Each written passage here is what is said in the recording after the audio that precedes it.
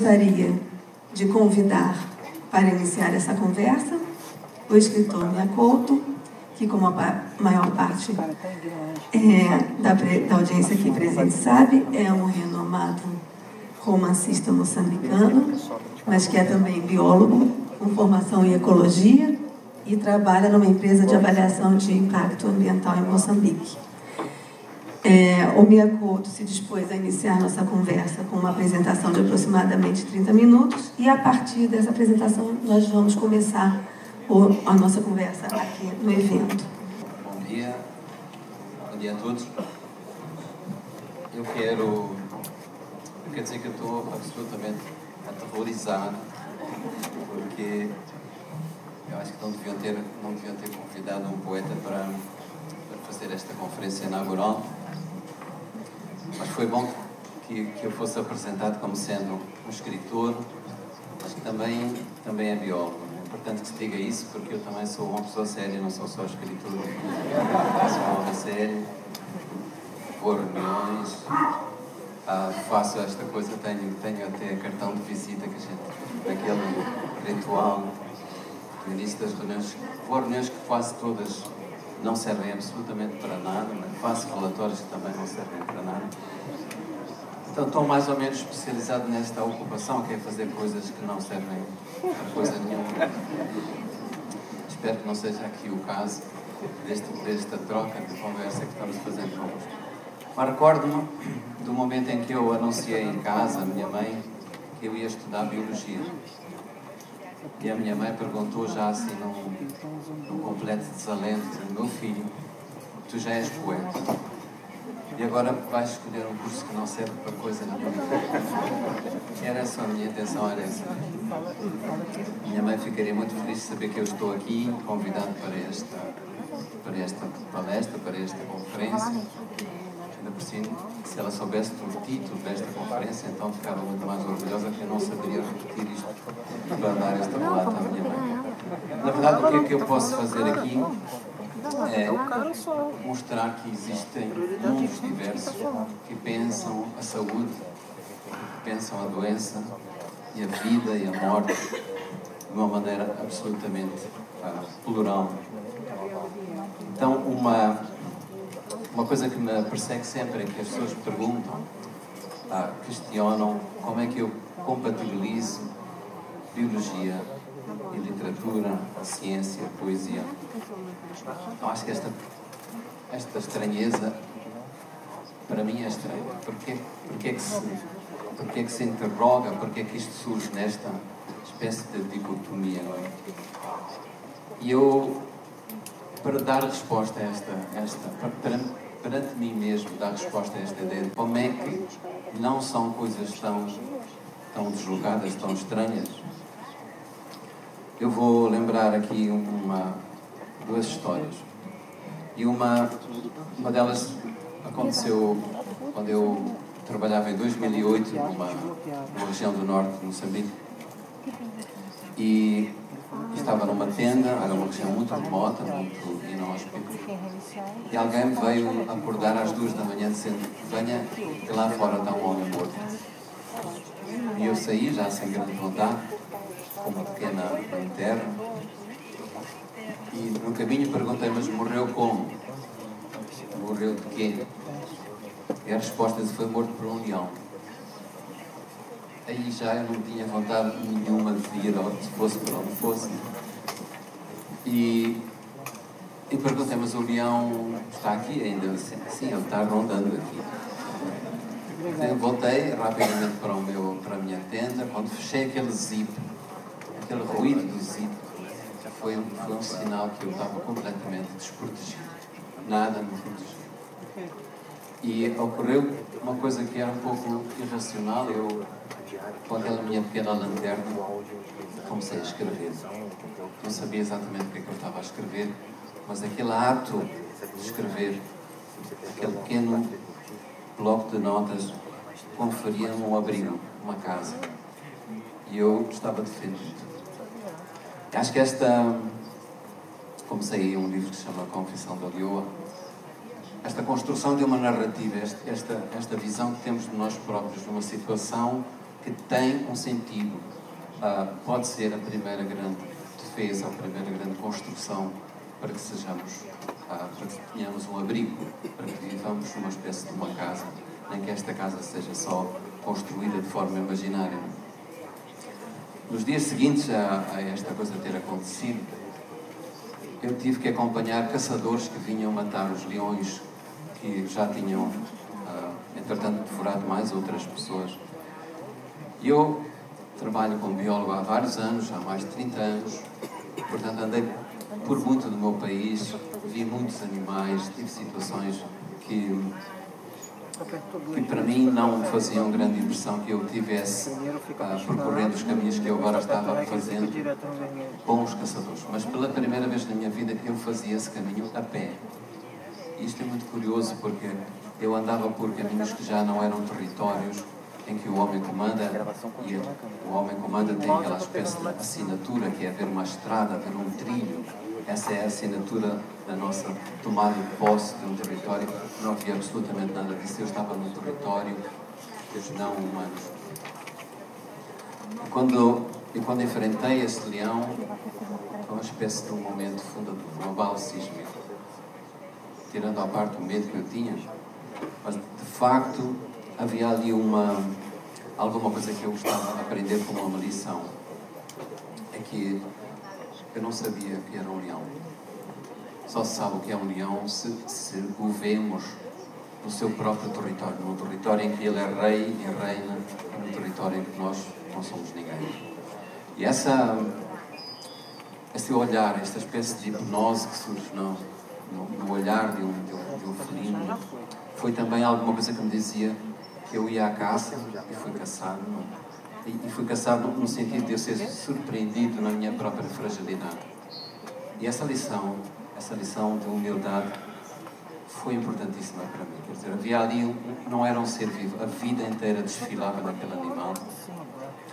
E eu, eu percebi que faz muito bem a um urbano do século XXI que acredita que, que tem domínios por causa da, da, daquilo que ele dispõe como tecnologia, pode ser proprietário de alguma coisa.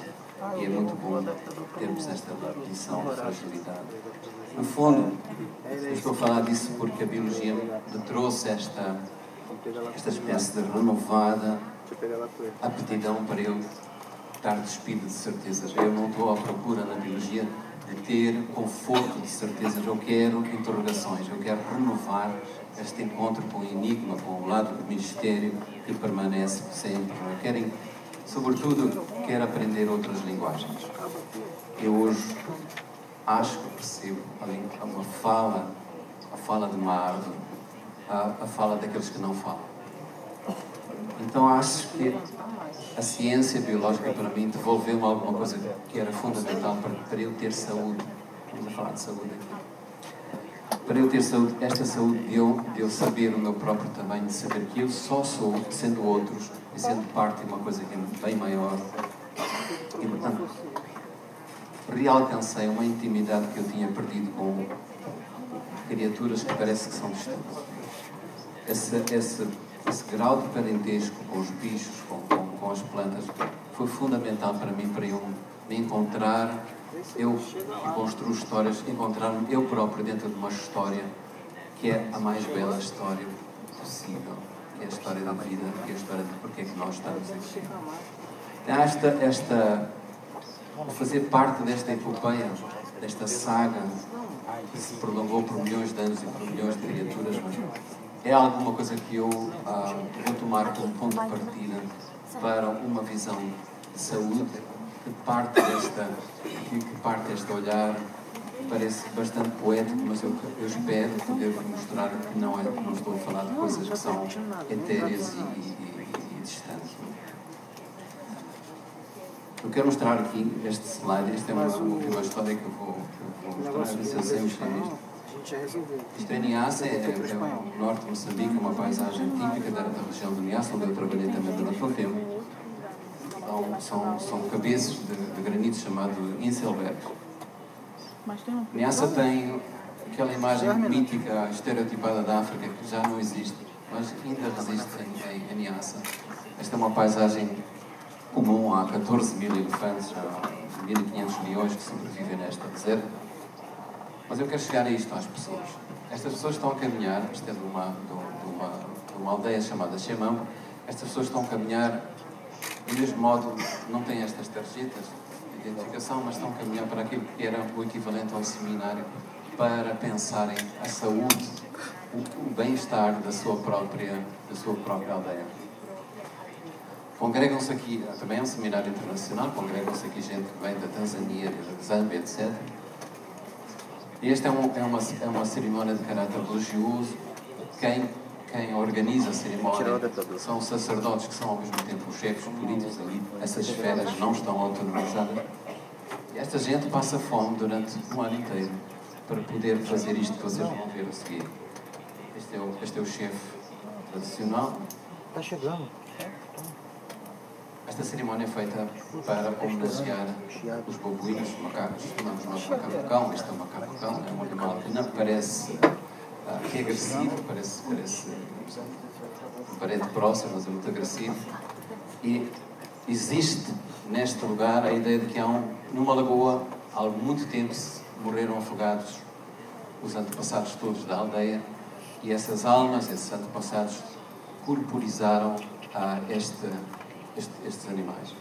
E as pessoas rezam e comunicam espiritualmente com as almas que são corporizadas neste. neste. Este é o chefe religioso falando e parece que este, este outro, a outra criatura também o está escutando. Aqui é o momento em que é preciso devolver, ter esse sentido de retribuição, porque se esses, se esses animais protegem um lugar sagrado, é preciso mostrar esta gratidão. Não é? Então, podem ver, há vários animais ah, espalhados nesta, nesta lagoa. Aqui, isto é, é, é encenado como se fosse realmente um congresso. Cada comunidade traz a sua bandeira.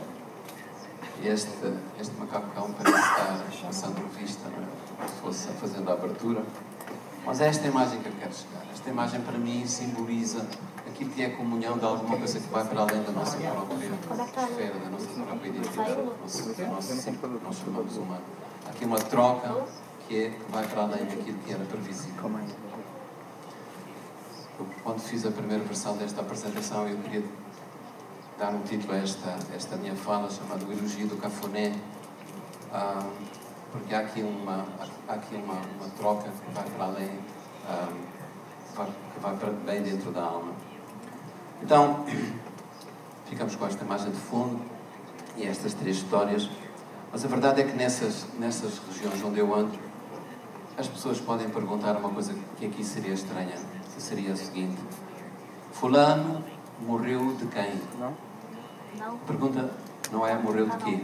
Morreu de quem? Tá, como é que tá? Morrer de alguém é uma coisa que tem sentido num universo em que as fronteiras da vida, o entendimento daquilo que é vida, que é a morte, que é a doença, é um outro completamente distinto. Não?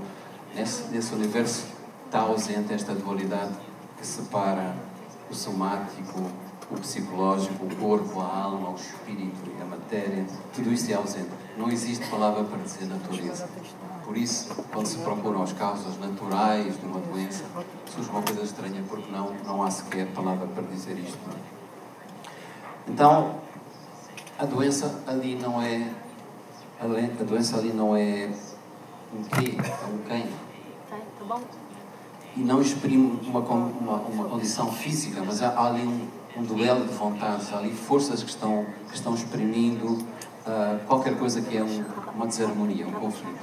Enquanto que um médico no Brasil ou na sociedade moderna moçambicana lê sinais, este terapeuta que aqui apareceu lê símbolos, que é uma coisa bem, bem, diversa. Enquanto que o, o médico no Brasil assume que trata o doente, naquele outro mundo, o que o terapeuta faz é colocar em, em diálogo vozes que são, que são ocultas e que trazem a cura desta doença. Então, em Moçambique as pessoas têm uma maneira muito particular. Eu, eu estou casado com uma médica, chama-se Patrícia. E, e, e várias vezes eu eu escuto isto, que a pessoa se aproxima do médico diz, não diz, não se queixa de uma dor.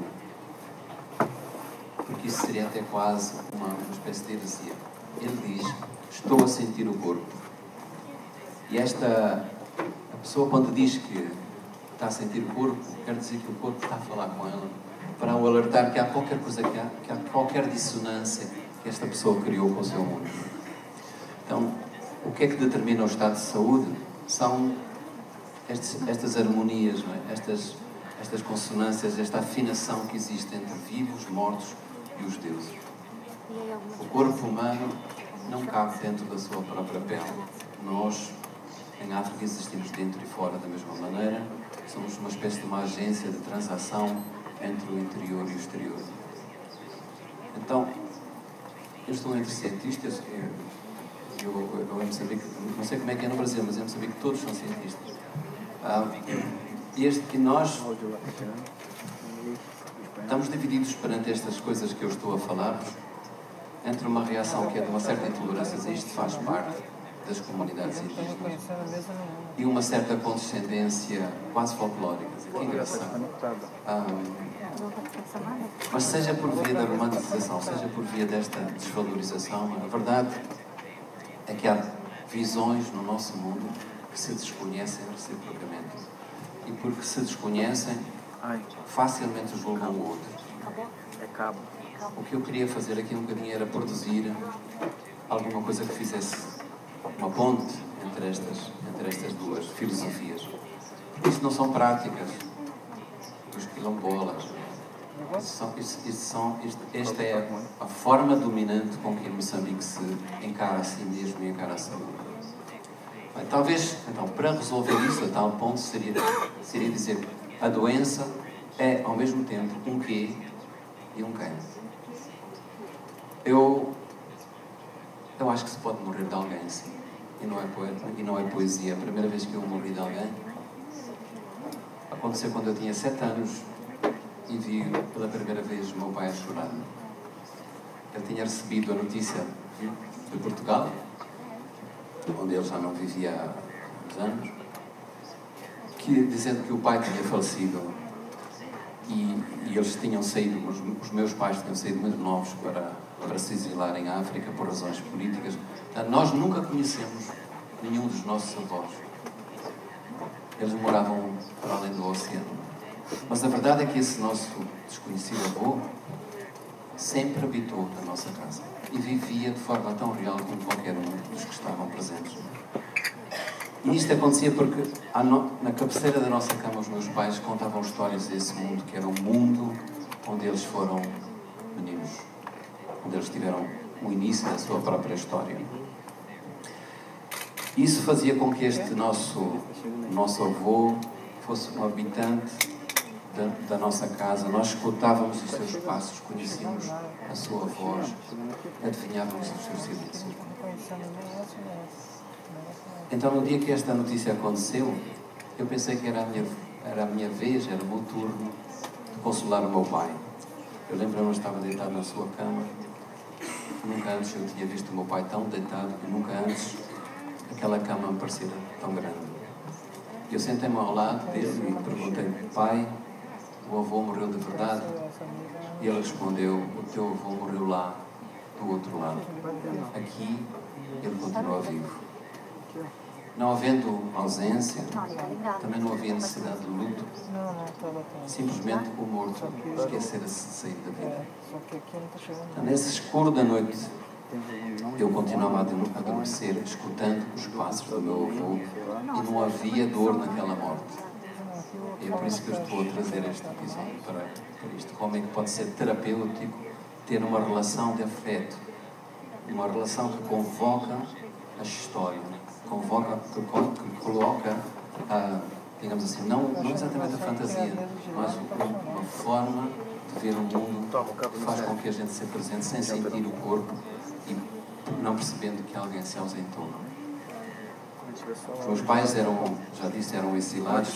Todo exilado constrói histórias, é como se fosse um barco para, para retornar ao seu lugar de, de, origem. Mas eles tinham esta saúde de serem os produtores da sua própria narrativa, das suas próprias histórias. Não, não. O que me fascinava não era a qualidade dessa história, porque não me lembro de nenhuma dessas histórias, para, para vos dizer a verdade. O que eu não esqueço é o, é o sentimento de encantamento que me produzia esta espécie de um doping, de um doping interior, uma doce embriaguez, em que eu ficava dissolvido nessa doçura. Eu estou a contar este episódio porque vocês vão avaliar ao longo, eu vou ser breve, porque eu acho que tenho dúvidas se o que eu estou a dizer aqui tem alguma coisa a ver com, com, que vocês ah, esperam do seminário destes, mas eu acho que o que eu gostaria de dizer é que estas histórias, a produção do encantamento que essas histórias trazem, são muito mais do que uma arte, são muito mais que um entretenimento. Nós vivemos com histórias desde que somos humanos. Desde este primeiros nossos antepassados que caçavam, e a caça era absolutamente fundamental para eles, mas tão fundamental como a caça era contar histórias sobre a caça e criar essa, essa, essa, essa relação de um espaço de família, de um espaço que fosse um, em redor dessa, dessa fogueira, como se fosse uma, uma primeira casa. Não é? Então, ainda hoje, já não há fogueira, há um tablet, Está duas ao mesmo tempo. mas ainda hoje são os animais que são convocados por via das fábulas para nos fazerem ah, povoar, para fazerem povoar a nossa imaginação como crianças.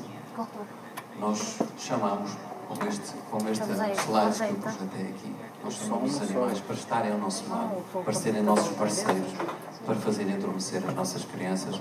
São os animais que nos ensinam a ser humanos. É por isso que eu ah, acho que esta grande narrativa feita destas pequenas histórias, não é? É quase como se fosse uma. Hoje fala-se muito de rede. É uma palavra hoje se pode ouvir a cada cinco minutos. Esta rede social que é viver numa narrativa, que é viver em história, é importantíssimo porque nos confere identidade, nos dá conchego. Eu aqui, aqui nestes, nestes, placas de apresentação, há aqui uma que fala de a cidade saudável. A cidade, seja ela pequena, grande, seja, seja espaço rural, o nosso lugar foi sujeito de uma certa violência invisível, foi despido de história. Pouca gente conhece a história do seu próprio lugar. Pouca gente conhece, digamos, esse essa, essa narrativa que, fazia, que faria com que nós amássemos mais o lugar a que pertencemos, nos sentíssemos parte desse, desse lugar e isso nos traria uma certa uma certa ligação, uma certa saúde que seria uma da, da nossa própria construção de identidade. Esta esta função terapêutica da pequena história está presente num, num episódio que todos vocês conhecem. A criança que se machuca e corre para a mãe, eu estou falar mãe ser o pai, e corre para a mãe para exibir o seu, vocês aqui não sei se dizem dodói também, assim, a sua pequena ferida, como se fosse a coisa mais dramática do mundo. Essa, esse menino, essa menina que corre para a sua mãe não quer exatamente o consolo para aquela circunstância de ter aquela ferida. Ela quer um conforto maior. Quer confirmar que há um laço, que há uma sombra infinita que aquela mãe ou aquele pai é uma espécie de uma divindade que afasta para sempre o sofrimento. E isso funciona. Isto não é poesia, isto funciona. Aquela. Está bem. Aquela mãe. A mãe sabe disso, mesmo que, mesmo não tenha consciência deste processo. A mãe sabe, participa nesse fingimento, nessa encenação, ou sopra ou dá um beijo naquela pequena ferida. E na verdade, por alguma razão, aquela dor fica menor. Isto não é, como eu estou a tentar salvar-me a mim próprio, não é uma visão poética. Estas, vocês sabem que as ideias hoje são como uma moeda, para que, para que as moedas têm que ser equiparadas ao dólar, à moeda forte. As ideias têm que ser sempre validadas em função de uma outra coisa que se chama verdade científica. E é, é aí, que, é, é aí que elas sabem se têm valor. Eu posso até fazer um pescar de olhos a esta legitimação científica, não é? Porque todos nós sabemos que este momento de afeto, este momento em que se cruza uma história junto à cabeceira da cama, produz a tal chamada oxitocina, que hoje é tida como, ah, como substância. Vocês dizem que é o hormônio, nós dizemos a hormona. Eu gosto mais. É o, o, o, Brasil ganha sempre, quando, quando, quando, é em termos de linguagem, de sotaque, tudo isso. Mas neste caso, acho que hormona é feminino. Eu, eu, eu acho que aqui há qualquer coisa que pede um feminino. Nós chamamos hoje o hormônio do amor, da felicidade. É esta substância que, nos, que tem uma função absolutamente fascinante, que, que é criar este laço de afeto com os outros. Há qualquer coisa no nosso corpo, na química do nosso corpo, que diz: Eu vou te gratificar se tu te deres aos outros. É? Esta gratificação da generosidade faz tanta falta no mundo em que isso está, está posto fora da questão. As pessoas valem, as coisas valem por aquilo que têm de valor do mercado. Então, isto é oxitocina, agora sem citar o nome científico desta coisa, não é? Este abraço que é feito mesmo que não haja um corpo, que é feito por palavras, não é? É um remédio tão eficiente como qualquer outro que se produza na indústria farmacêutica. Então estamos, afinal, bem mais próximos daquela filosofia africana que vos falei, que pensa a doença e pensa que a doença pode ser resolvida por via desta criação de laços. A pena que a, que a ciência não tenha mais ousadia para falar sobre estas coisas. Seria muito importante. Em vez de. Bom, os cientistas já não têm mão nisso, não é? quem, quem tomou posse disso são quem, quem é proprietário do jornal e quem acha que, que uma notícia pode vender. Mas eu acho que faz falta falarmos sobre isto, sobre a existência de, um, de uma hormona que permeia a, a generosidade. Faz falta falar também de uma coisa do meu domínio, que é aquela ideia que a evolução, já o termo evolução é um termo muito equivocado, né? a evolução proposta por Darwin, agora coitado do Darwin nunca disse isso, mas a evolução é a confirmação de que os mais fortes vencem e os mais fracos sucumbem. É? Esta ideia que legitimou tanto o capitalismo selvagem, eu não sei se existe qualquer outro capitalismo que não seja sempre selvagem. Esta, esta ideia ajudou muito a criar uma, uma legitimidade para, esta, para, para a competição em lugar daquilo que são que é um outro grande motor da evolução, que é a simbiose. É preciso que os biólogos digam isto com força, que um, os mecanismos de cooperação e de simbiose foram tão importantes para a, para a evolução como os de competição. E se estamos aqui, se sobrevivemos como, como espécie, é porque somos nós próprios, nós próprios produto desta simbiose. Eu mostrei ali uh, gente que se confundia com os espíritos dos, dos, dos, dos macacos, mostrei que uh, nessa aldeia onde os leões apareceram, as pessoas acreditavam que esses leões podiam ser gente. Tudo isto, mesmo que eu seja muito avesso, avesso a esta folclorização das crenças, não é? Mas a verdade, porque é que nós achamos tão estranho que possamos ter esta alteridade, esta pluralidade dentro de nós? É? Nós, nós somos humanos porque também não somos humanos. Porque, porque uma parte de nós pode. Perdi-me. Uma parte de nós pode nascer ave, pode renascer animal, um, pode acordar a árvore. E nós, de facto, podemos ficar doentes por não, não estarmos dentro desta teia de vida, deste, deste, deste ser plural que nós somos. Eu só tenho mais uma página e meia. Eu falei, falei dos meus pais, das histórias, falei da sua condição de exilado, mas de facto Hoje, todos nós somos uma espécie de exilados. Nós fomos expulsos de um tempo de felicidade, nós fomos deportados de uma cidade que já foi nossa. Nós fomos expatriados de um tempo que era um tempo de esperança e que era um tempo de crença. Este instante que parece uma coisa de brincar, parece uma coisa lúdica só, em que se contam histórias, é, de facto, um dos momentos mais importantes da história da, da humanidade. Aquele que conta a história está a dizer alguma coisa como se fosse o seguinte: não sou, não sou eu apenas que estou aqui, eu sou a voz do tempo, eu sou a voz dos que, for, dos que já foram e que falam por mim. Os outros que recebem a história, mesmo sem o saber, estão a dizer outra coisa e eles dizem: Eu sou aquele que ainda não é, eu sou o futuro. Então há este fim do tempo, não? É? este sentimento. O, o, o vosso poeta, que é, que é um grande mestre todo, todo mundo da língua portuguesa, Carlos Drummond de Andrade, falava deste sentimento do mundo, este sentimento do tempo, pode nos ajudar a ter uma relação mais serena com a nossa própria finitude, com a nossa própria mortalidade, porque nos confere esta ideia de, de facto, há qualquer coisa que é eterna, há qualquer coisa que passa. Então, quando alguém conta uma história a alguém, eu, eu estou a contar histórias já desde há 20 minutos, há uma mensagem que passa que diz para quem escuta, tu és importante, tu existes, eu estou, eu vejo, eu toco-te. E essa, essa confirmação da nossa visibilidade, essa confirmação de que contar histórias, receber histórias, produzir histórias, é de facto um ato de amor.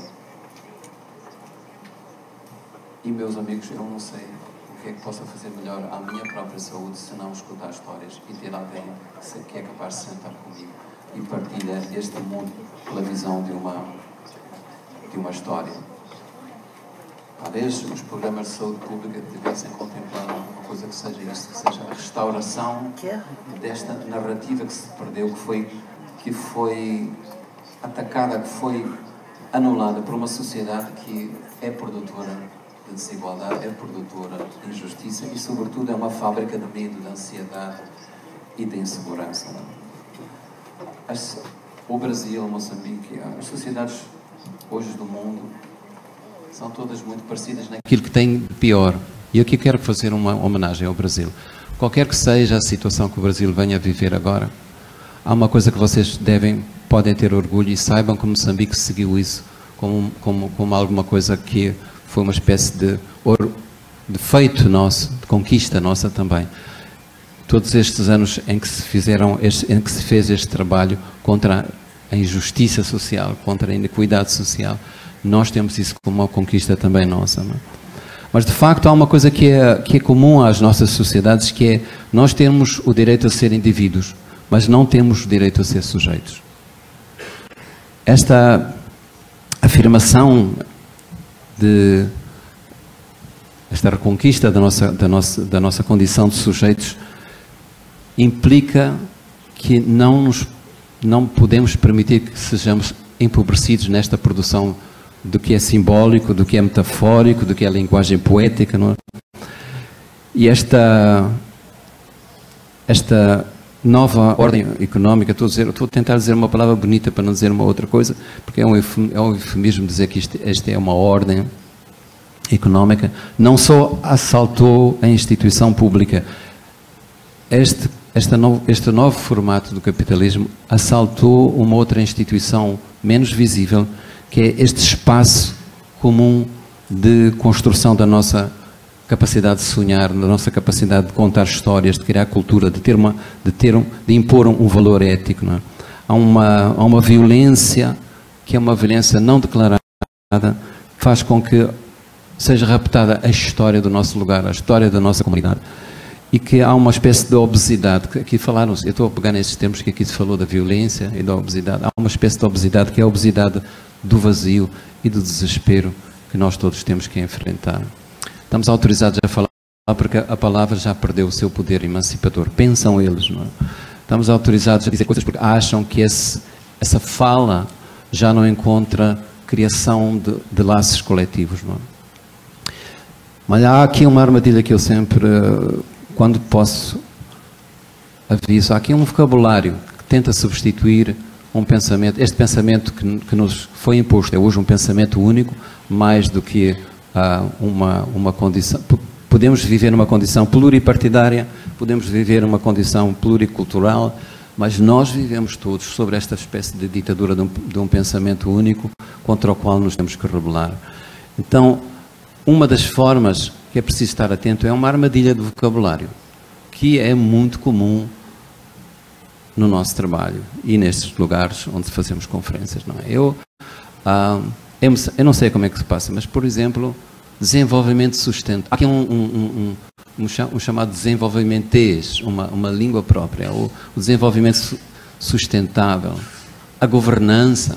Nós agora estamos a dizer uma palavra nova que nunca já não é já não é já não é a governação, não é o governo, é a governança, que é uma coisa que fica intermédia entre uma coisa e outra, não é?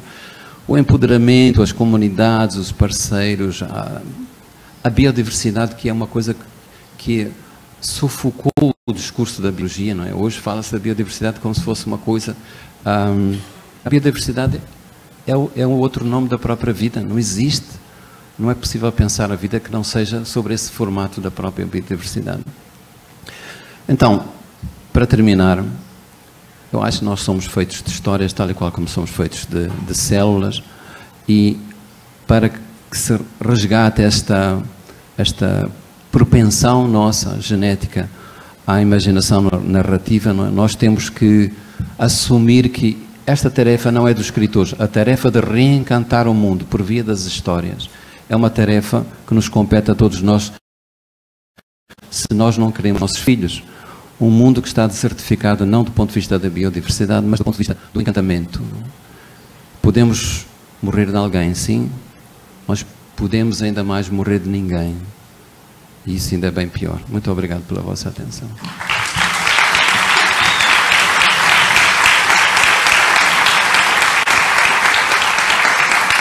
Agora, eu, eu, eu, sou muito avesso a esta coisa de chegar e falar depois. Uh, uh, se houver um espaço, se houver um tempo, se vocês tiverem paciência, eu uh, estaria disponível para conversar com, convosco e, e responder a questões. Ou...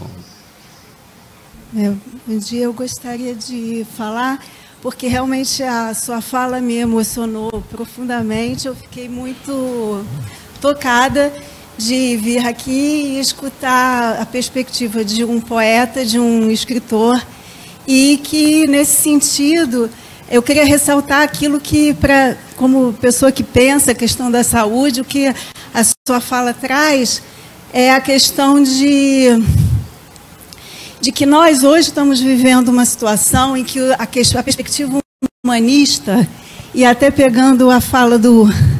a frase do Marco Ackerman, né, que nenhuma vida vale menos que outra, ela, é, esse tipo, essa frase, ela mostra como hoje nós vemos uma situação que falar isso, nenhuma vida vale menos que outra, nos coloca numa perspectiva humanista muito mais difícil, porque nós estamos em contato com a realidade de que nós somos ligados profundamente à vida numa perspectiva muito mais ampla e não precisa falar nada que essa imagem já já mostra. E a questão de que nós estamos sendo profundamente modificados pela técnica e que nós mesmo estamos hoje nos questionando se nós somos humanos e que humanos e que, que nós vamos nos transformar como espécie. Então, eu, esse, isso aí eu acho que você colocou de uma forma muito bonita e eu gostaria de é, pontuar para que você falasse um pouco mais sobre essa dimensão de que, de que é, hoje é muito mais difícil a gente ser humanista. É, é uma alegria, um prazer que é difícil colocar em palavras. É, dou parabéns que a gente tenha começado é, esse trabalho ouvindo poesia e ouvindo uma reflexão. E hoje nós somos uma fábrica de ocitocina graças às suas palavras. E eu acho que é, é importante que o que está sendo produzido aqui seja, vamos usar uma palavra que não é muito boa, né? mas que está nas redes sociais, viralizado. A gente tem que difundir a sua poesia cada vez mais. Sem isso, eu acho que não podemos avançar. Precisamos de mais poesia e me entendam bem, menos ciência no sentido da poesia que você trouxe hoje. Obrigado. De coração, obrigado. Muito obrigado. Bom dia, Mia. Bom dia, Bom dia. mesa. Eu sou Arlinda Moreno, sou pesquisadora da ENSP, pelo, pelo Departamento de Epidemiologia, e sou uma pessoa que já estive em Moçambique, tive a oportunidade de conhecer a terra, né, é, pelas cooperações que são feitas entre a Fiocruz e os países africanos. E é, Fiquei bastante emocionada de ouvir um griot. né? É, que são os contadores de histórias, os poetas que caminham e que, quando param nos corpos de caminhar, são é, colocados a descansar no interior dos baubais. É, acho que a gente precisa muito né, de falas como essa, de falas que, ao meu entender, possam fazer pontes entre aquilo que o humano inventou, é, falando de metáforas nietzschianas, se assim for possível, que aquilo que o humano inventou como ciência e que faz com que muitas das vezes a criatura inventada se volte contra o seu próprio criador, se é que não é uma pretensão pensar que quem criou ciência é criador. Mas o que eu queria te ouvir um pouquinho mais dentro dessa possibilidade de construção de pontes, e tendo visto Brasil e Moçambique, e sendo uma pesquisadora preocupada com as questões da saúde mental, como é que você vê essa é, sobredeterminação de é, diagnósticos psiquiátricos que são é, colocados de terras estrangeiras em países como os que você conta e traz para a gente, tem uma configuração do simbólico completamente distinta da que estamos fazendo agora, e que com isso pensamos que estamos liderando ciência em Global Mental Health. Obrigada. Bom dia, bom dia Mia, bom dia a todos. Eu me sinto um pouco, né, como como você, que eu sou músico, né? Estou é, aqui no meio de vários cientistas, estou me sentindo, mas ao mesmo tempo é, a fala, né, dela foi me me identificou muito. Na verdade, eu, eu iria repetir um pouco, né? Porque eu também tive em Moçambique e muito da sua fala me contempla no sentido de a gente está falando de saúde e você tocou muito no, nessa questão de como reconstruir essas histórias, essas histórias que nos religam, que nos dão identidade. E num mundo de transformações, de rupturas com essas identidades, né? E que a maior parte da população tem essa dificuldade, tanto a nível educacional, quanto a nível mesmo de, de, de é, patologias sociais. Né? A gente vê um mundo doente hoje em dia, né? um mundo em que as informações chegam até nós, nos colocando cada vez mais para baixo, e ao mesmo tempo a gente está discutindo como refazer essa ligação com essas tradições, com essas pontes que nos coloquem em pé de igualdade enquanto sociedade, como que as pessoas podem ter acesso né, a tanto a sua saúde mental, mas também como que essas histórias, recontar essas histórias pode estar fortalecendo isso, né? Como que no meio dessa, desse fluxo opressor, a gente pode buscar essa linha de pensamento e poder revitalizar essa saúde enquanto humanidade, né? Então, eu, eu repetindo um pouco o que ela falou, mas deixando essa bola. É, bom dia a todos e todas. É, Mia, meu nome é Fernando Carneiro.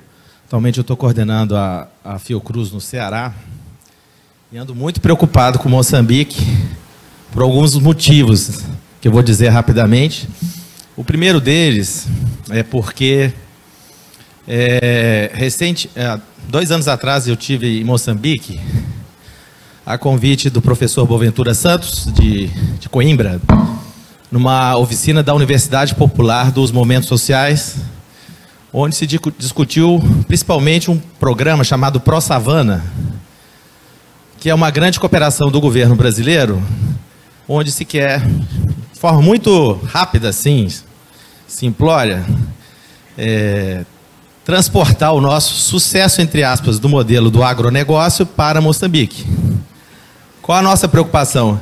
Eu, eu tive a oportunidade de ajudar a coordenar junto à Abrasco é, um um documento chamado Dossiê Abrasco, da nossa Associação Brasileira de Saúde Coletiva, onde um grupo de mais de 45 pesquisadores produziu um livro do impacto do, desse, dos agrotóxicos na saúde. E, é, bom, nós somos o maior consumidor de agrotóxicos do planeta. Foi um dos resultados desse modelo aí do agronegócio. E Moçambique, 70% são camponeses, né? A implantação de um modelo desse do agrobusiness nosso medo é que isso gere um grande genocídio, o que gera concentração de terra, mecanização, quimificação e etc. É a famosa modernização conservadora da agricultura. Num seminário de, de determinação social da saúde, vocês imaginam o que pode significar isso, né? Uma reforma agrária ao contrário. Bom, então essa é uma primeira questão, não sei se está no seu radar, a questão do ProSavana. A segunda, a segunda questão tem a ver com o desastre ambiental de Mariana. Porque a Vale do Rio Doce foi também exportada para Moçambique. Né, tem um grande vale é, lá em Moçambique, é um dos maiores empreendimentos minerários que está ocorrendo em Moçambique é a Vale do Rio Doce. Então, é tipo o efeito Orloff, né? O que está acontecendo hoje no Brasil já começou a acontecer em Moçambique em termos da presença da Vale do Rio Doce. É claro que não é só desgraça, a gente tem a iniciativa da Unilab, que é a Universidade Latino-Americana, é, perdão, da Luso, da Lusofonia, que está também lá no Ceará, que é uma iniciativa de mais de sete países da África, onde o Lula teve essa iniciativa e tem bolsas de estudantes da África estudando medicina agora no ano que vem, mas agronomia, etc, etc, no Brasil. Então, assim, como é o nosso modelo heterodoxo, também está sendo uma cooperação heterodoxa também com a África, né? Bom, é isso. Eu queria que você comentasse um pouco isso, essa nossa cooperação sul-sul com a África, né? Tem coisas interessantes, mas também tem coisas muito preocupantes. É, eu não sei se a gente faz uma, uma interrupção agora para você responder. Você prefere que esses comentários vão se acumulando? Bom, não sei. Há aqui coisas que eu acho que eu eu não sou ministro de Negócios Estrangeiros de Moçambique, né? então acho que uh, não posso falar em nome de Moçambique, eu posso falar em nome de algumas uh, coisas que eu sei. Mas uh, talvez para. E essa questão sobre. A última questão, acho que poderia falar com. Com Fernando, é o seu nome? Fernando. Com mais, com mais detalhe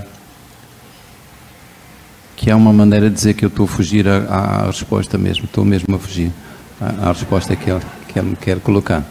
Mas uh, acho que eu, eu, sou, eu sou biólogo e faço alguma coisa que tem a ver com a, com, com a saúde, a saúde do planeta, a saúde do meio ambiente. É, eu, talvez o que eu possa dizer, que, que possa cobrir um bocadinho aquilo que, foi, que foram as várias perguntas, é que o que, o que eu noto é que há um pressuposto daquele que pensa que sabe, é? o, o, o, que vai salvar o mundo, é? E que vai da cidade para o campo, ou que vai da Europa para a África, ou, ou, tem pouca preocupação de perceber que do outro lado está alguém, está alguém que tem um saber, tem alguém com quem ele tem que entrar em diálogo. Uh, e essa, esse diálogo às vezes pede uma coisa que nós não temos, porque agora tem o valor do mercado, é? o tempo, e, e, para que se ganhe confiança, um, o especialista de aeroporto, que é aquele que hoje já chega com metade do relatório feito, e, e lá só completa o que falta, não é? nunca é capaz de conseguir perceber que existe realmente um outro universo que fala, do, pensa de uma outra maneira. Então, eu um, sou, sou muito avesso a esta ideia de de haver pressa nestes programas, não, não, não, não, não, não pode suceder assim. Eu vou-vos contar um pequenino episódio que mostra como é que, como é que um, se, geram, se geram equívocos. Um, há um grande projeto agora, não vou falar de um projeto brasileiro, a falar de um projeto italiano para extração de gás no norte de Moçambique. Uh, os italianos começaram o seu trabalho e uh, eu, eu tinha feito o estudo de impacto ambiental desse, desse projeto e eles chamaram um certo momento disseram, olha, aquilo que foi a, sua a vossa recomendação de dar prioridade ao emprego das pessoas locais não funciona, porque estas pessoas nunca trabalharam para uma empresa, não falam português, não falam inglês um, e mentem. E não trabalham bem, e havia uma lista de queixas enorme. Eu disse, bom, alguma coisa não está bem, ah, acho que vocês não estão a falar bem uns com os outros. Não, estamos a falar, está aqui. E aquilo era perspectiva bem uh, racionalista, bem um, de quem pensa que a escrita manda. Não? Então ele disse, está aqui o contrato, eu pergunto, as pessoas leram? as pessoas não sabem ler, então puseram o seu dedo na impressão digital, alguém traduziu e havia uma ficha. Como é que ele dizia que as pessoas mentiam? Havia uma ficha de presença e essa ficha de presença mostrava que a maior parte das pessoas não iam trabalhar todos os dias. Então ele disse: Olha, aqui há um risco, que é um risco ainda maior, que é trazer, vocês estão a trazer gente de outra etnia para aqui, vai-se criar aqui uma tensão que não vai ser boa para vocês. E, e, portanto, fui reunir com aquilo que nós chamamos lá, no nosso lugar, chama os mais velhos. E aí os mais velhos disseram: não, os italianos são mentirosos. Então, o que é que se passa? Eu mostrei-lhes: olha, está aqui uma ficha que diz segunda-feira, você foi trabalhar, mas aqui diz terça-feira não foi, quarta não foi, quinta não foi, sexta não foi. Ele disse: não, não, não, não, é mentira, eu sempre fui, sempre estive presente. Segunda-feira fui lá pessoalmente. Mas na terça-feira, como, como havia um bom dia, sou pescador, mandei-me lá o, o, cunhado. O meu cunhado foi o meu, o meu nome. E quarta-feira mandei o meu primo, e quinta-feira mandei o, meu tio, etc. Mas eu sempre estive presente. Quer dizer, a concepção ali é que eu sou a minha família. E quando eu assino como mais velho, assino como se fossem todos os meus que assinaram. Portanto, os italianos são mentirosos. Eu sempre estive presente. Estas, uh, quando eu estou a falar nesta, neste como um exemplo de desfazamentos que são, que são nem sempre respeitosos. A Val, agora está falando do Brasil, a Val levou os inquéritos para fazer o estudo social da, das comunidades onde ia trabalhar. Eu estou a falar isto porque já disse isto à Val, estou a falar aqui eh, abertamente, porque tinha lá uma coisa que era assim: o senhor pertence a um povo indígena? Isto em Moçambique é absolutamente absurdo, não é? Não há, não há um moçambicano, exceto eu talvez, que não seja indígena. E tinha outra pergunta que falava se pertence a, um, a uma comunidade quilombola. E as pessoas pensaram que aquilo era um grupo de futebol ou qualquer coisa, não sei, ninguém, sabe o que é quilombola, o que é isto então. Esta facilidade com que nós, eu estou a falar de coisas que são caricaturas, mas a facilidade com que nós uh, exportamos a nossa visão do mundo, como se ela fosse universal, como se quem está do outro lado tivesse os mesmos pilares de pensamento, não é verdade. Como eu vos disse, não há palavra para dizer ambiente. Em todas as 25 línguas de Moçambique não há palavra para dizer natureza. Não há palavra para dizer futuro. Quer dizer, nós estamos perante uma outra concepção do mundo, do universo, que é absolutamente diferente. É? E isto um, tem, que, tem que ser pensado.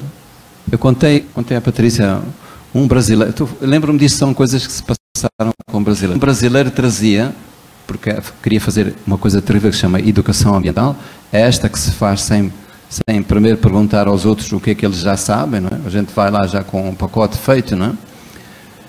Como é que facilmente nós acabamos por ser gestores de uma coisa que já nos escapa? Um programa, uma política, um projeto que é imitado de um modelo que foi concebido, não sei, em Nova Iorque ou em qualquer outro sítio do mundo, e nós depois já nem nos interrogamos sobre a racionalidade disso.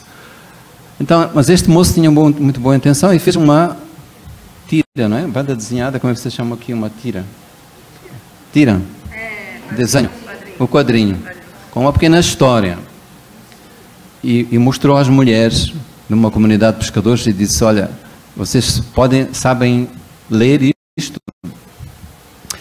E elas diziam, sim, sabemos, a história começa da direita para a esquerda. Diziam, não, não, a história começa no, no quadrinho, na, na, primeira figura, da esquerda para a direita. E havia uma discussão, e a, então elas diziam, você então desenhou, no primeiro quadrinho, você desenhou uma mulher que vai para a pesca, que vai buscar peixe. Esta mulher tem o cesto na cabeça. Nunca uma mulher aqui vai com um cesto vazio na cabeça. Ou em lado nenhum do mundo, se calhar. Não é? Portanto, esta mulher está a chegar, não está a ir. Portanto, este é o fim da história. Começa aqui. Não é? Então, há, eu estou-vos a dar exemplos. Há, eu podia ficar aqui dizendo-vos várias coisas, às vezes bem mais graves, sobre esta, esta ideia tão, tão elementar que é, primeiro, perguntemos-nos se, além de falarmos português, e o nosso é um pouco diferente, aí não, não táxi, alguém nos chegou ao fim e disse: Quero dar os parabéns ao senhor, porque o senhor, mesmo sendo um gringo, fala já bem português. Fala bem português. Então, apesar dessa, dessa, dessa diferença de sotaque, um, há outras diferenças que são, são bem importantes. Meu nome é Ana Maria Tessa Tambellini, eu sou professora aposentada da Escola de Saúde Pública da Fiocruz e também do Instituto de Estudos de Saúde Coletiva é, da, da Universidade Federal do Rio de Janeiro. Mas eu queria, eu fiquei muito emocionada com a, a sua fala. E ela não nos é estranha por de diversas maneiras. Então, é, quando você é, refere eu li seu livro, e não é só por isso, da, da Lioa, eu li seus livros e eu acho aquilo uma maravilha. Obrigado. Mas eu me lembro muito que quando eu era pequena, a gente não tem leões aqui. Mas onde eu morava, a gente tinha outros bichos com, eh, com os quais os contatos não eram comuns. Por exemplo, a gente tinha onça. Com a onça, a gente eu vi uma vez uma onça passando numa fazenda do meu avô e eu olhava para ela e ela olhava para mim. E eu falava assim, mas ela vai me atacar. Mas ela não atacou, ela foi-se embora e eu fui embora também. Então, e a gente tinha uma relação assim com diversos animais de todos os tipos. Minha neta hoje, a relação é próxima que ela tem com animais são cachorros, que são animais domésticos, e cavalos, né? que não são tão domésticos, mas que para ela cria um universo diferente. Então, eu acho que em proporções diferentes, a gente hoje vive esse exílio que você está dizendo. Mas também nós temos algumas coisas em comum. É, quando você diz é, da, do, do, da forma como que é vista a doença, a gente tem um autor maravilhoso francês, um filósofo, Canguilhem, que diz que a saúde é a vida no silêncio dos órgãos e outras coisas interessantes que tem que ver com o que você disse aqui, né? A outra questão, quando você coloca a história, eu vou reinterpretar isso para nós é, de um outro ponto de vista, quer dizer, é, independente de nossas incursões na literatura, como gente que escreve, porque tem muita gente que faz poesia aqui também, é, eu vou fazer uma, uma, uma, uma incursão pensando o significado da história em outros termos. Pensando na questão não dos determinantes, que são aspectos ou indicadores isolados ou sinais, sintomas, digamos assim, do que acontece na vida social e que pode ter um efeito positivo e negativo sobre a saúde. Porque toda vez que eu uso um determinante, ele pode ser, eu posso interpretá-lo e, e, dependendo das circunstâncias do local, do território, da situação política, ele pode, do uso que se faz daquelas questões que ele diz retratar, ele pode ter um efeito para a saúde ou contra a saúde. Então, é, pensar determinantes é pensar um nível muito superficial da questão principal, que é uma questão, para nós da ciência, questão da determinação. Embora a, a, crítica ao conhecimento e a crise do conhecimento nos mostre que essa determinação não é completa, que se tem graus muito grandes de incertezas e que é, existem é, outra coisa que você falou, que eu acho muito interessante, que é essa é, a, a, a caça do leão, ou a vontade de conhecer o que é novo. Isso eu vou passar aqui para nós agora, no momento que nós vivemos. Eu faço parte deste grupo que o Fernando também faz, que é um grupo que trabalha com a questão produção, ambiente e saúde. E mais na porção ambiente e saúde. Nesse trabalho sobre os agrotóxicos, a gente faz caravanas. Mas não é caravana para um desconhecido, é para conhecer as outras gentes que moram aqui onde nós moramos e, e as quais nós pensamos que conhecemos quando falamos em pobres, em classes sociais, em moradores de tal qual aspecto e tal, mas nós não conhecemos. Então, essas viagens, são, essas caravanas, são viagens de reconhecimento do outro, da busca de, de, de aspectos comuns de, de identidades ou de diferenças muito grandes que nos cabe não negar ou aceitar ou não, mas entender e conviver com elas. Então eu tenho a impressão que essa, essa sua fala me trouxe essas questões todas, e inclusive me trouxe uma outra questão importante, que para nós, e que eu não vejo muito trabalhada, nem quem trabalha com determinação, que significa não só os dar, mas, a, mas a, a, os processos e os, e, as, e, as, e, e os mecanismos pelo qual uma coisa venha a se tornar o que é, mas é, é, é, uma, é, uma, é uma questão que não é trabalhada, que é a historicidade. Eu não consigo entender, por exemplo, eu trabalhei com acidente de trânsito.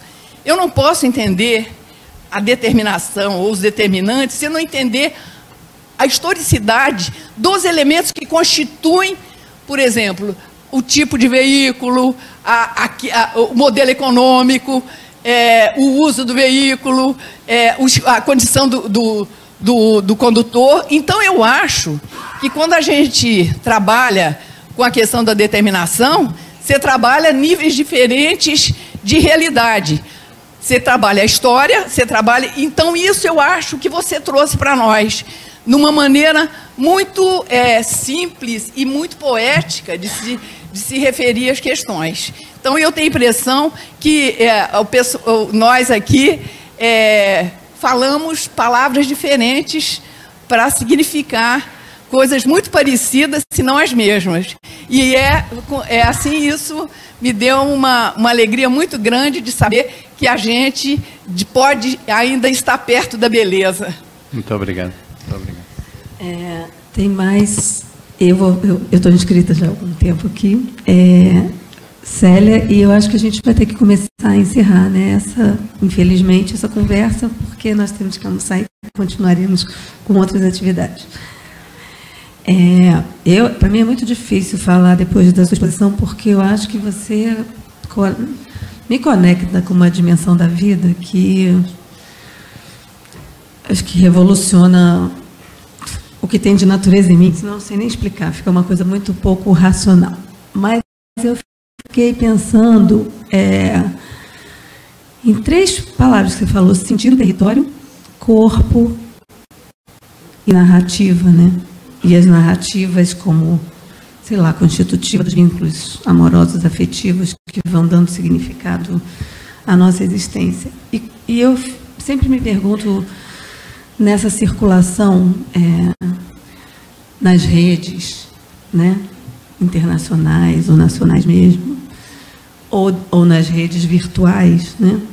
quantas proposições não, não vão sendo disseminadas sem que, sem que elas pousem num território que vai dar sentido a isso, né? Então eu queria um pouco que você falasse sobre isso, sobre o sentido que, que se, se ganha a nossa existência no território, né? Sobre sobre o sentido das nossas proposições, conhecendo o problema no território onde ele acontece.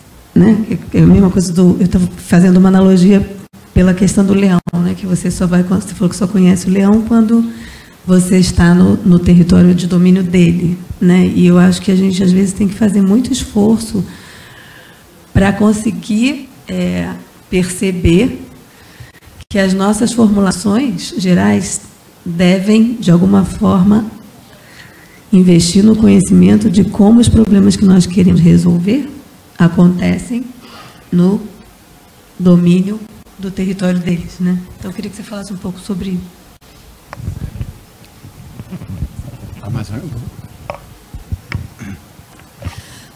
Eu vou ser rápida. Eu sou Célia Almeida, pesquisadora da Escola Nacional de Saúde Pública. É um prazer ter o Minha aqui conosco. Não, queria só é, lembrar um sentimento que a tua fala me trouxe. Que, na realidade, né, as narrativas e que a gente chama também as práticas tradicionais foram historicamente oprimidas ocultadas, é? de forma muito violenta. Né? Nós vivemos em um mundo e isso não aconteceu só na África, isso aconteceu na Europa, né, com o islamismo, na, enfim, não vou aqui ficar é, descrevendo a história. Mas, enfim, eu acho que a história do mundo é uma história de opressão, de guerras e de violência. E, por outro lado, também isso me, me chama atenção, a sua fala, no sentido que essas formas de opressão, né, elas retornam a partir dos oprimidos, quando eles têm a oportunidade, digamos assim, entre aspas, de revidar. E é um pouco o que a gente está verificando, que está acontecendo na Europa, né? A gente verifica isso também em outros, outros países africanos, onde a questão do colonialismo, do autoritarismo, da repressão violenta, é muito introjetada também na cultura, na formação não é? das próprias sociedades. Então, tudo isso me leva a pensar que quando nós falamos na determin, nos determinantes, ou então na determinação social né, da saúde, da doença, que é um termo também, como a Ana diz, que eu prefiro, é impossível não levar em conta essa dinâmica e aonde que essa dinâmica está nos levando no mundo de hoje. Aonde nos colocamos mais ou menos perplexos, não é? Por um, um total desconhecimento também desses processos históricos. Porque, na realidade, nem a mídia nacional ou mundial está interessada em colocar isso em discussão de formas claras. Né? E, na realidade, você fica impactado com atos como, por exemplo, o que aconteceu em Paris essa semana, quando, na realidade, você tem vários outros sérios problemas acontecendo, atrocidades de todo, todo tipo acontecendo no mundo inteiro. Eu não estou dizendo aqui que eu sou favorável ou que eu não, não me sinto profundamente tocada com essa violência.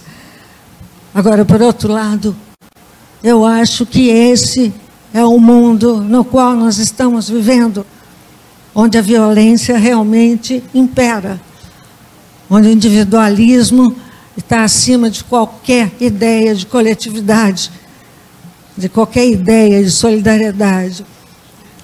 Então, a tua fala me fez, me fez pensar nisso.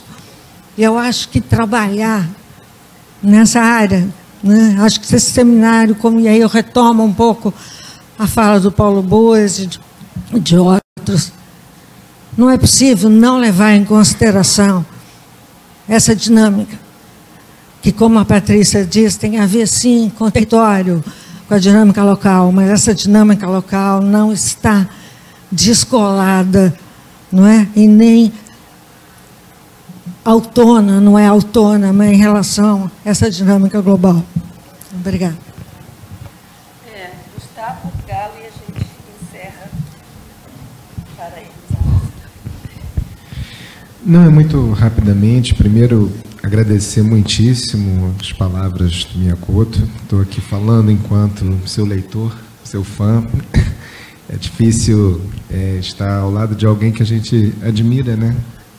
Pelaquilo que nos toca e pela capacidade de traduzir tantas crenças, valores, experiências e uma ética, né? Eu acho que o que você nos traz aqui é um desafio para a ciência, né? Dessa interlocução, não sei se é interlocução, mas talvez a, a crença, a humildade de uma. que a ciência não dá conta de tudo. Outras narrativas, outras formas de expressão da vida são fundamentais para que a gente possa entender, acessar aquilo que nós estamos chamando de iniquidade. Né? Eu acho que isso é uma mensagem importante para o seminário. Me chamou muita atenção quando você fala né, é, da fábrica de medo, de insegurança, né, da obesidade do vazio, da obesidade do medo. Né? É, é alguma coisa que nos parece que não é produzida despropositadamente. Há uma intencionalidade para que a gente não conte histórias, para que a gente não acredite nos nossos mitos, para que a gente não acredite e consiga escutar os outros. É, no nosso campo, é, nós costumamos criar metáforas quantitativas, acreditando que isso é capaz de monitorar desigualdades, monitorar a pobreza, e talvez sejamos um pouco masoquistas, porque o máximo que nós estamos conseguindo fazer é monitorar né, as vidas que se perdem ao longo desse tempo. Então, se você puder, né, no teu encerramento, né, que mensagem você deixaria né, um pouco para esse encontro?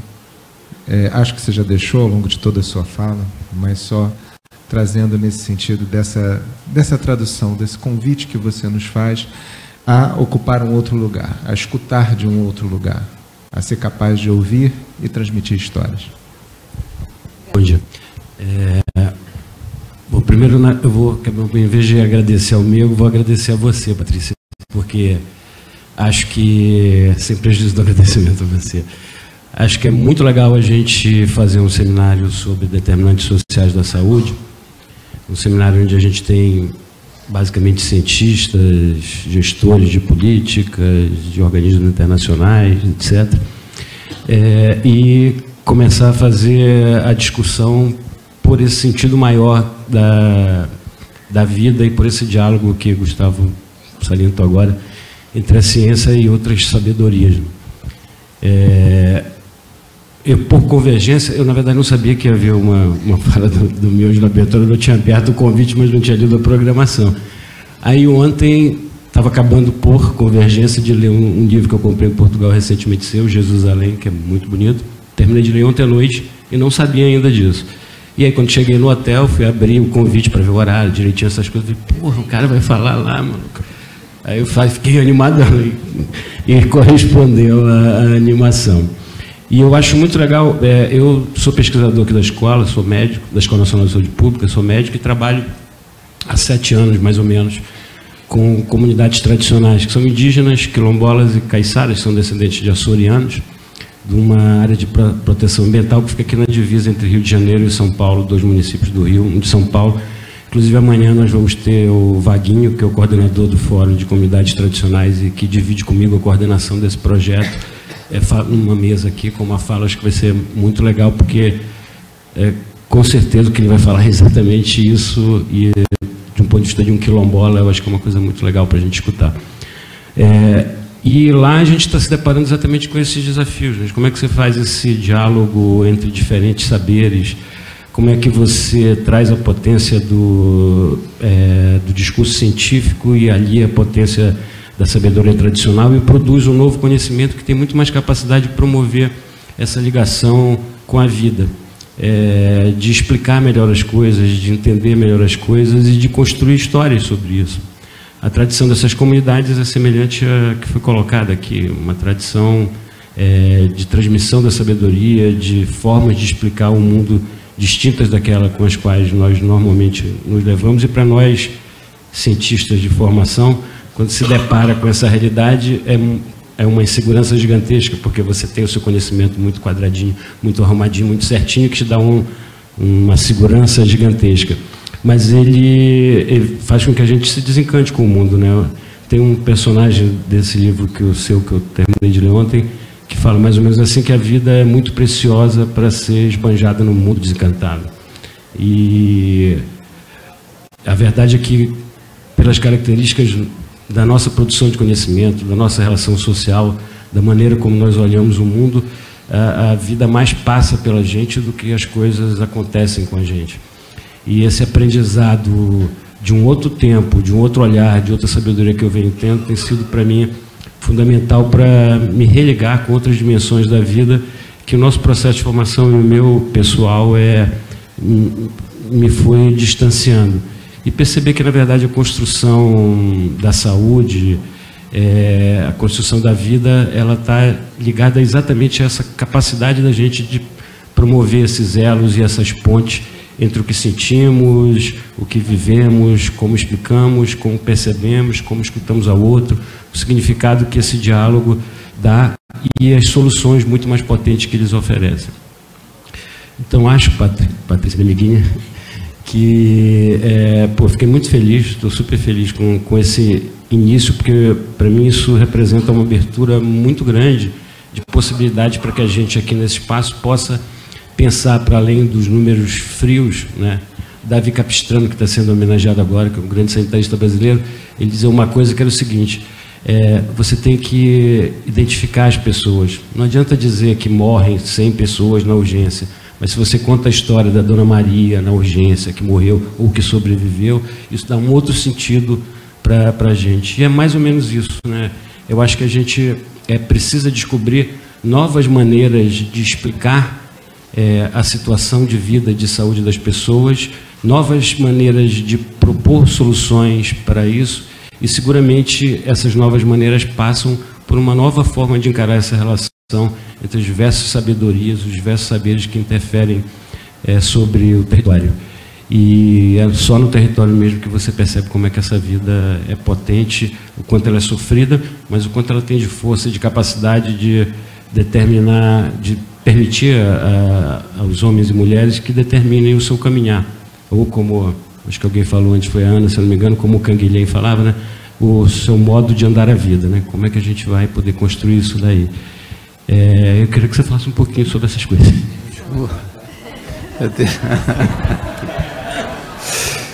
eu... Em síntese, a hora do almoço agora. Eu, eu, eu, obviamente, não, não, não, para dizer a verdade, não sei responder à maior parte das questões que vocês colocaram. Talvez eu possa sugerir, a partir do meu próprio trabalho, que tem alguma equivalência, que, um, que, que, eu estou avisado, acho que todos estamos, contra uma certa, uma certa invasão de, de, de, uma, de uma visão mecanicista do mundo, dos outros, do corpo, da sociedade. A sociedade não é um, um, não é composta por engenhos, por mecanismos. A sociedade é um superorganismo. E por isso não, não, não cabe, não cabe em estatística, em indicadores, há sempre qualquer coisa, cabe, sim. Pode haver um indicador que seja importante nós termos referência, não é? mas é, há qualquer coisa sempre que escapa a isso, não é? Qualquer coisa que vai para além de nós não. Um dia desses eu tenho receio que apareça alguém que se apresente como engenheiro social. Se calhar já há, não sei. Há? Engenheiro social. Porque agora há engenheiros de tudo. Há, há, há engenheiros financeiros, há engenheiros de, de ambiente, há engenheiros. Eu, eu, tenho muito respeito pela engenharia. Os engenheiros sabem fazer coisas e eu não sei fazer coisa nenhuma. Mas os engenheiros tratam de engenhos. Nós outros tratamos de uma outra coisa que é diferente, que tem uma lógica diferente. São os organismos que têm essa outra, outra, outra forma de procedimento e quer sejam Uh, quer seja na minha área da biologia, quer seja na área da sociologia, eu acho que é preciso entender que, há, que, que temos que rever criticamente alguma, de, alguma do lugar que nós fomos empurrados para sermos gestores, inspectores de números, de, de estatísticas, de indicadores. Uh, e devolver aquilo que me parece que é a grande reivindicação. Eu já, não, já, já estou terminando por aqui, só porque só quero dizer uma coisa em relação às coisas que eu queria dizer. Uma era que o, trabalho, eu acho que o trabalho de escritor, quem, quem escreve, um, percebe que o, tem que chegar ao outro para além do estereótipo. Quer dizer, quando ele fala de alguém, uh, esse alguém não, não, não, não, não cabe numa, numa etiqueta que é uma mulher, é um negro, é um indígena, é um brasileiro, seja o que for. Esse alguém tem que ter, tem que ter voz própria, tem que ter uma história única. E é isso que é esse resgate da nossa própria individualidade, que eu acho que é o ato mais libertador que pode existir. Porque nós estamos a agir em nome de uma comunidade, uma comunidade oprimida, etc. Mas é uma comunidade. No momento em que alguém diz tu és tu próprio e tens uma, uma, uma história que não se repete, que é repetível, tu tens uh, uma impressão digital que é de, feita pela tua própria vida, esse é realmente o grande momento libertador. Como é que se faz isto num programa de ação social? É completamente difícil, mas eu acho que é preciso, talvez, ah, quando se trabalha num território, é preciso que esse território tenha, para nós próprios, uma história e tenha uma possibilidade de entrosamento, de diálogo, não é? Porque senão esse território é uma coisa ah, da, da, da área da geografia, da área de uma coisa que é impessoal, não é? Portanto, acho que grande, o grande ato libertador é este. E acho que aqui, eu quero, eu quero fazer aqui uma homenagem ao Brasil, e não é por simpatia, porque, porque é uma coisa profundamente verdadeira. Eu venho ao Brasil e fico melhor, e o Brasil tem coisas terríveis. Este próprio lugar está aqui cercado, este próprio lugar simboliza muito o Brasil. Estamos aqui e à volta disto há lugares que são pobres de violência, etc. Isto é um pouco o retrato do Brasil. Mas há uma coisa que, que eu acho que vocês conseguiram mais de qualquer outro, eu posso dizer qualquer outro povo que eu conheço, que é uma, um, um, um trato de doçura. Quase que estava com medo de dizer a palavra. Mas eu aqui sinto-me como se, não é em casa, como se fosse numa família antiga, que era uma espécie de idealização que eu tinha de uma relação em que eu, eu posso estar disponível para os outros porque eles estão disponíveis para mim. É impossível, é uma coisa que é de tal maneira que eu acho que não ajuda o Brasil, não ajuda os próprios brasileiros, porque um, porque era preciso ficarmos mais zangados de vez em quando. Não? É? Eu vou eu conto um episódio para terminar. Eu, eu estava no, no aeroporto na cidade de Natal e a coisa corria muito mal. E a, a minha mulher, eu acho que eu acho que pergunto mais vezes porque é que uma mulher casa, porque é que serve um marido, mas o marido tem uma função que é zangar-se, muitas vezes. Eu sou péssimo nisso, mas ah, pelo menos na nossa casa é assim, vai lá e zanga-te. Essa é uma, uma das funções do marido. E eu, aquilo estava a correr mal e a minha mulher disse, vai lá e zanga-te com a senhora do balcão que não está a resolver um problema. Então. Eu lá fiz o melhor que eu pude né, para me zangar. E, e, e, quando cheguei ao balcão, estava lá uma, uma moça que, que, que bem do Nordeste e disse. A primeira coisa que ela me disse quando eu disse que, que eu reclamei que havia um caixote com livros ali que não seguia ela, a primeira coisa que ela disse foi: Meu amor. E aí eu já estava dissolvido, né? já, já, já não tinha hipótese. Ela disse: Você é escritor? Sim, sou escritor. Mas, eu, mas não tem nada a ver com o assunto. Eu tenho, eu sou. E ela não queria saber disso. Aquele assunto era para ela era, era mim. Ah, você sabe que eu sou cantora? Eu disse, não. E disse que eu tinha uma voz que quando falava no microfone, o aeroporto parava porque a voz dela era maviosa. E perguntou-me qual era uma uma cantora do Brasil. Que cantora do Brasil eu gostava. Eu já dizendo sempre, sempre tentando pôr o meu assunto, disse, olha, Marisa Monte, disse. ela começou a cantar para mim uma, uma coisa chamada Deixa eu dizer que eu te amo. E a coisa já não era, já não era boa, mas é, nesse momento apareceu a Patrícia, minha mulher, que viu aquela cena meio, meio romântica, meio romântica, e perguntou-me, conhece essa moça? Eu disse, não. E então ficou uma coisa se resolveu desta maneira. Eu tive que pagar o que eu achava que não devia pagar, não é?